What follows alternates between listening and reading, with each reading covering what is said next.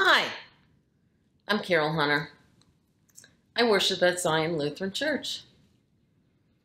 Whew, just been through a beautiful Easter season. Well, we're actually in the Easter season now. And I've been thinking about all the places where Jesus' disciples and other people saw Jesus after he rose from the dead. It started making me hungry. So uh, I thought I'd just come down to the kitchen and fix a little bit of something. Do you know what I'm going to make? Starts out with two pieces of bread. What could it be? Scarlett and Solomon, do you have an idea? Marielle, what do you think I could make to eat with two pieces of bread? You got an idea, Jack or Will? Isaac, do you like to eat anything made with bread? Well, I'll tell you what. I'm going to add one more thing. This is my crazy butter crock. See my butter? Yeah. I'm going to put butter on the bread. What do you think it's going to be? Isaac, did you ever eat a butter sandwich?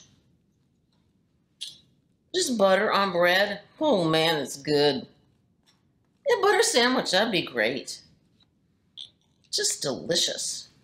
See, I'm smearing that butter on there. I like a lot of butter. Tastes so yum. A butter sandwich. Hmm. No, that's not what I'm making. Not a butter sandwich. It's got butter on it. It's gonna be a sandwich. David, you got any ideas? Gideon, what do you think? I got another clue. I'm going to add some cheese. Now watch carefully how I put this cheese on. See if you think I'm finished with my sandwich. Yummy, yummy, yummy cheese. Hmm. Flipping it over. Put a cheese there. And a cheese here. Think I'm done? Yeah. I could eat the sandwich like this.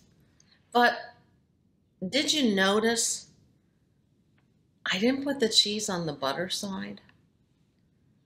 And now I'm going to put this bread butter side up. What am I going to do? Ta-da! I'm going to make a grilled cheese sandwich because I think they're delicious and I'm really hungry. That kind of made me think about a time when Jesus, right after he died and rose again, appeared to the disciples, 11 of them. Well, I'm not sure how many. A bunch of them were all together. They were in a, a room getting ready to have supper. And they were still talking about the crucifixion and the empty tomb and what Mary and all the ladies said about the angels being there and and no body in the tomb. The tomb was empty and they just kept on talking about all the things that happened around good between Good Friday and Easter Sunday. And they were getting ready to have dinner when another person appeared in the room. And that person said to them, Peace be with you. It's just like we say in church, Peace be with you. And then we answer back, and also with you.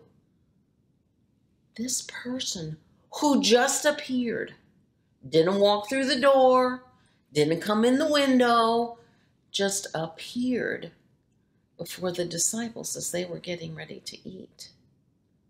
And he said, Peace. Now that calmed the disciples down a little bit, but they still had a lot of questions.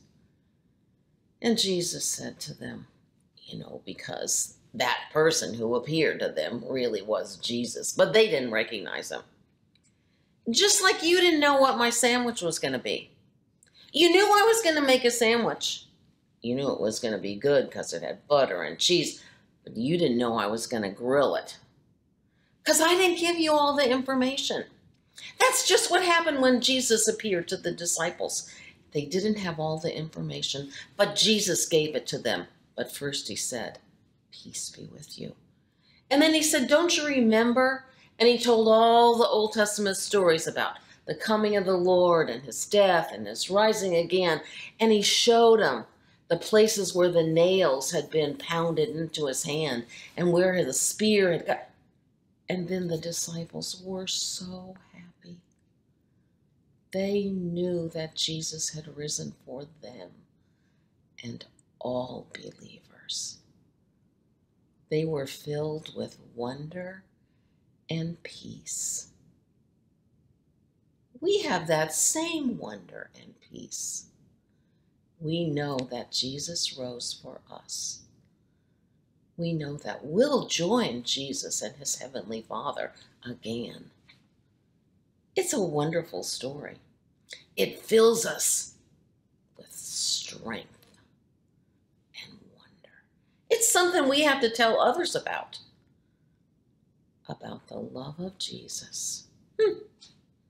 And all that happened just because a bunch of guys got together to have dinner in an ordinary place and an extraordinary time. That's what we live in now. An ordinary place, but extraordinary, filled with God's love. Let's have a prayer. Heavenly Father, we know you are risen. We thank you for the blessings you shared with us on Easter morning and continue to share with us in our everyday life. It doesn't matter if we're walking along a road or if we're gathered to eat with our friends. When we call your name, you are with us. Thank you for taking care of us today and every day.